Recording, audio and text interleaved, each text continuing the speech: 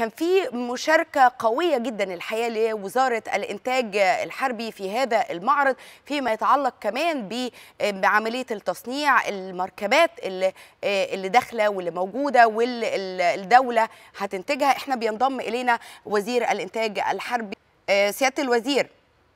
صباح الخير. أهلا بحضرتك سيادة الوزير ويعني الحقيقة هذا التواجد والحضور القوي من وزارة الإنتاج الحربي في خلال هذا المعرض وإحنا بنشوف مبادرة لها أكثر من بعد وأكثر من شق وطبعا جزء متعلق بالاستثمار والاقتصاد وتمكين المواطن المصري كمان اقتصاديا.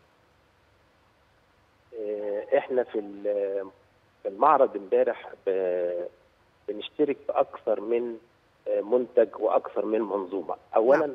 منظومة متابعة محطات الوقود اللي بتمون العربيات بالغاز الطبيعي. اللي بها تبقى في سيطرة على جميع المحطات لدى الشركة الأم اللي تابعة ليها جميع المحطات دي.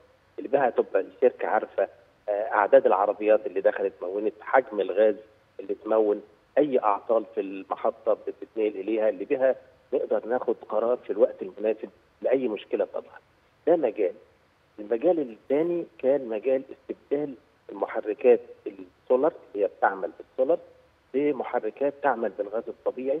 ودي إحنا عملنا تجربة لأتوبيس من أتوبيسات هيئة النقل العام لمدينة القاهرة وتم تجربته لمسافة تقريبا 30 ألف كيلو وظل يعمل حوالي أربع أشهر في الهيئة بنجاح وبكفاءة. وإن شاء الله هنعمم الموضوع ده. يعني سيادة الوزير دي دي دي بعفوا عشان نوضح للساده المشاهدين. يعني دي حتى الأتوبيسات الحديثة مثلا ينفع إنه لو الناس تستبدل المحركات الموجودة فيها بالمحرك الجديد اللي حضرتك بتقول عليه؟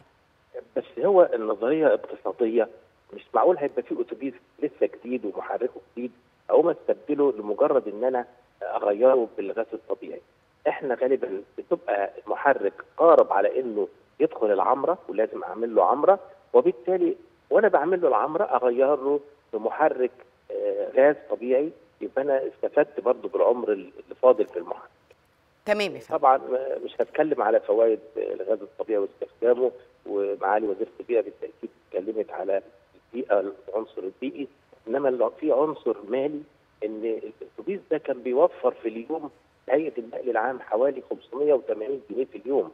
يعني سعر المحرك أنا ممكن أستعيده خلال أقل من ثلاث سنوات. ودي نعم. آه نقطة اقتصادية مهمة جدا في العملية التحويل.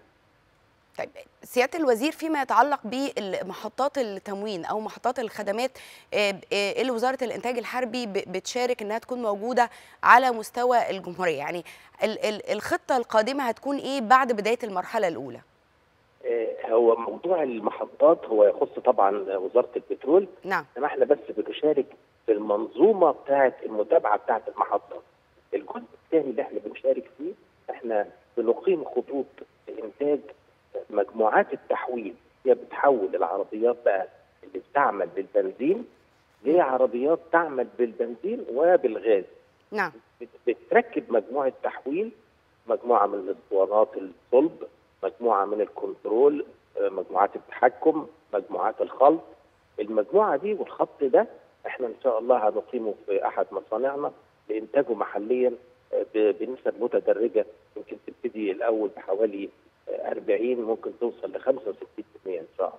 إن شاء الله. طب سيادة الوزير أخيرا يعني التجربة المتعلقة بتحويل الأتوبيسات إمتى إن شاء الله بإذن الله إحنا هنشوف أكبر عدد منها في مصر أو في الشوارع المصرية؟ يعني إمتى هيتم التعميم؟